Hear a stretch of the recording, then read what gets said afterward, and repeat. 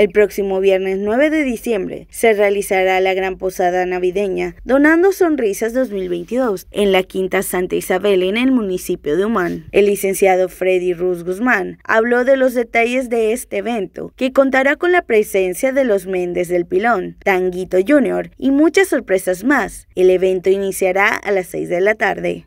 La entrada va a ser un producto de la canasta básica, una eh, frijol, arroz, azúcar, papel sanitario, o un juguete nuevo que posteriormente vamos a regalar a la gente que más lo necesita aquí en Humán y las comisarías.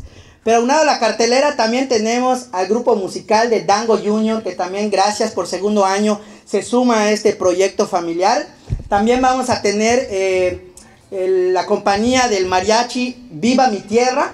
Vamos a tener al, al ballet folclórico Mayek Nite del municipio de Junugma, pero además vamos a tener muchas sorpresas. Vamos a contar con transporte.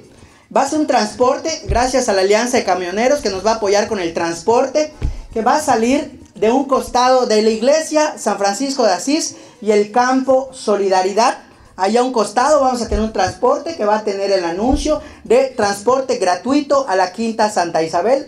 El transporte empezará a continuar eh, dará inicio a las 5.30 de la tarde del viernes 9 y culminará hasta que se vaya el último asistente. En esta ocasión, se espera la asistencia de más de 3.000 personas. Noticias Teleplay.